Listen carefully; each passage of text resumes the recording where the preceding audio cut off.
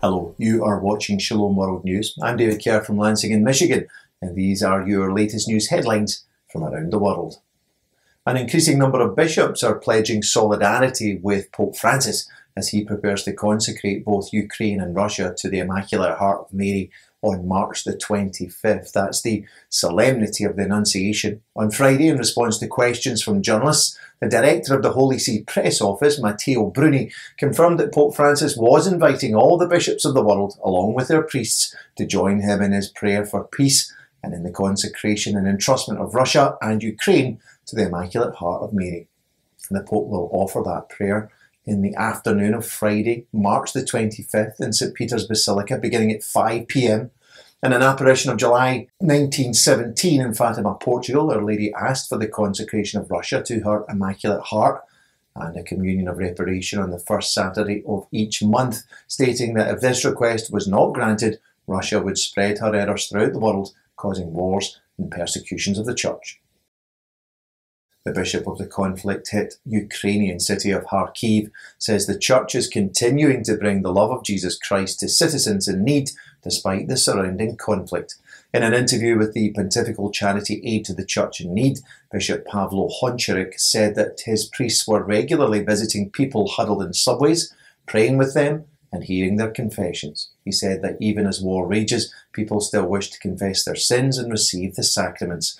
Kharkiv is in the east of Ukraine. It's one of several Ukrainian cities being ravaged by Russian attacks in recent days, with many buildings destroyed or badly damaged. That includes the bishop's residence, which was hit by a Russian missile in the initial days of the attack. Aid to the Church in Need has already dispatched an emergency grant to the local diocese in Kharkiv so that it can help cover the costs of fuel, electricity, water, and food for those most affected by the war. A statue of Our Lady of Fatima has been welcomed into the city of Lviv in western Ukraine. The sacred statue arrived from Portugal on Thursday and was met by the Metropolitan of the Greek Catholic Church in Lviv, Archbishop Ihor Vozniak, along with many of his priests and hundreds of lay faithful. It was then taken in solemn procession to the Church of the Nativity of the Blessed Virgin. That's the city's largest church, where Our Lady was enthroned. There then followed a prayer service for peace. The statue will remain in Ukraine until April the 15th. It was upon the request of Archbishop Vozniak that the Sanctuary of Fatima in Portugal sent the replica of the statue to Ukraine. The Pope's special envoy for refugees of the Russian Ukrainian war arrived in Slovakia on Wednesday to meet with those displaced by the present conflict. Cardinal Michael Czerny met with the local Greek Catholic and Latin Rite bishops in the city of Košice in eastern Slovakia. He also went to the Slovak Ukrainian border, where there are reception facilities for people fleeing Ukraine and moving on to other places. Cardinal Czerny said that he wished to express the Pope's closeness to all those fleeing Ukraine, reiterating the Holy Father's words that the border should be a place of encounter and not of division.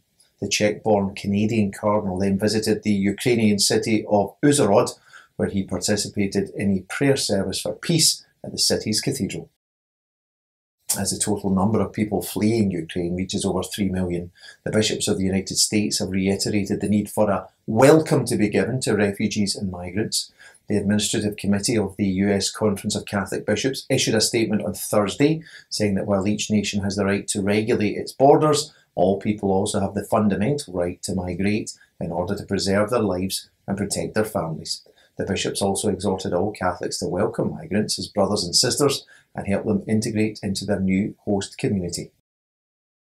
In other news, the upper house of the British Parliament has voted down an attempt to introduce legislation on assisted suicide in England.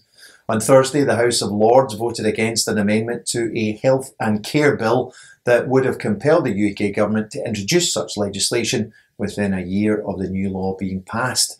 Amendment had been put forward by the Conservative peer Lord Forsyth of Drumlean. In the end, it was defeated though by 179 votes to 145.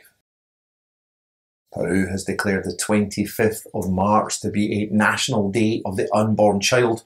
The proposal was approved on Thursday by the nation's Congress by 77 votes to 7, with 20 abstentions.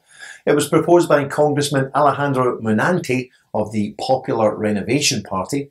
His motion also stated that the interference of non governmental organisations or NGOs promoting abortion in Peru through campaigns should be rejected. Finally, Pope Francis has held aloft St Joseph as a model for all Christians. The Holy Father made his comments on Thursday while addressing members of the Order of Augustinian Recollects who are currently holding their general chapter in Rome. He told the religious order, who venerate St Joseph as their protector, that every religious has to have the same Father's heart as St Joseph so as to love and care for the sons and daughters entrusted to them. The Pope added that one cannot be a true father on earth without being a true child of our Heavenly Father. He also spoke about St. Joseph's creative courage, saying that in difficult situations, the saint trusted fully in God. The feast of St. Joseph falls on Saturday, March the 19th. Happy Feast Day. Well, that's your latest headlines for now. Do join us for more tomorrow. You can also join us at swnews.org for news updates. Shalom.